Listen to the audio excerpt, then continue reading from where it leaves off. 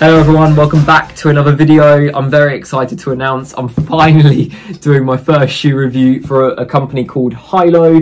They're a sustainable shoe uh, manufacturer that use only sustainable uh, materials for all their shoes. They're not a quick shoe. This is an everyday trainer to use for my easy runs and uh, maybe even for my strength and conditioning sessions that I'm trying to do a bit more of. They use materials like corn spring, natural rubber, organic cotton, and even algae bloom. When you compare this to the other materials that uh, non-sustainable shoe manufacturers wear, like let me just give an example, Nike, they use a sort of material or I don't know if it's an oil to manufacture their shoes called petroleum which is not sustainable at all and actually can take hundreds of years to degrade and most often ends up in landfill. Hylo, their aim is to use everything that's sustainable and renewable uh, in the production of their shoes. So being a vegan, well, not a vegan, but I aim to eat quite a plant-based diet. Um, I know in my last video, I tried to reintroduce meat, but I'm actually moving back to a more plant-based diet as I feel a lot better on it and I didn't really enjoy eating meat again. So that's for another video but we'll touch on that uh, like I said in another video. This video is about these shoes. So as you can see haven't opened the box leaving it all for this review. So we'll open the packaging here. Okay. let's get rid of the box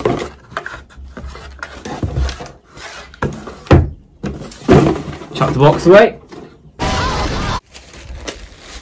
Chuck these. I never know why shoe companies put these in. If someone can put in the comments why, is it to keep their shape? That's what I've always thought.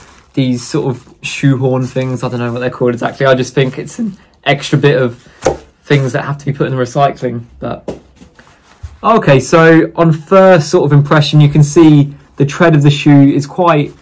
There's not much tread there, so might might be a bit slippy in wet conditions, but like I said, the aim of these shoes is to be worn in a gym for easy sort of road running, um, just like an everyday trainer. Weight isn't too bad. I'd say maybe 250 grams um, for the pair. I haven't got scales to hand, so can't be exact with this, but all round, I'm I'm quite liking the shoe. Uh, of course, it's nothing that that special. Um, you can see just on here, you can read that it says all the ingredients, which is quite a nice touch um, to actually make the shoe like corn spring, corn fiber even, natural rubber, corn based reinforcement, algae bloom, uh, water based glue, which is really good. That's very sustainable um, and water based ink. So you can see their aim with this shoe is to really use those renewable materials and make something that can be used and used again and maybe even I, I, need, I would need to reach out to Hylo themselves but maybe even when you're once you're done with these shoes I can send them back uh, to make more Hylo shoes. That'd be a good idea wouldn't it? But first impressions uh, that's what this video is about. I'll do a initial um, sort of first run review as well uh, which will go up after this one. I'm yet to of course try them out so I'm quite yeah, I'm curious to see what they're like to actually run in as they they don't they seem more of like a gym trainer. That's what my first impressions are. Um, I wouldn't be running loads of miles in these.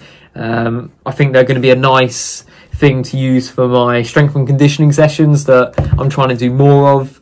Um, I'll be doing two of those a week. So yeah, very excited to get these get these in for some testing. But nice little quote on the tongue here as you can see, it says athletes for planet um, running, and then I know a little date there. That's kind of interesting. But yeah, like I said, um, they feel like quite a quality trainer. Uh, I got sent these out for free, but they do go for 110 British pounds, which is around, I think, I don't know the exchange rate exactly, but I'd say around $150 to anyone that's watching in America. But you can tell they're they're well made. Um, of course, they use the renewable uh, material usage of them as well. That is probably a more expensive process than using non-renewable materials. But yeah, very excited to give them a try. Um, and yeah, very, very can't thank Hylo enough for sending them out to me. Uh, but not really much more to say. They're not reintroduce like reinventing the shoe. Uh, no carbon plate in these. I'm not going to be like Seth James DeMoor and saw them up. Um, just a very basic review from me as a first impressions. But first impressions is good. Uh, like I said, I'm going to use them for my gym sessions. I will test them uh, for an easy run, and maybe even I'll even try and do some intervals and just see how how they respond. But yeah, they've got just having a feel now. They've got a good bit of.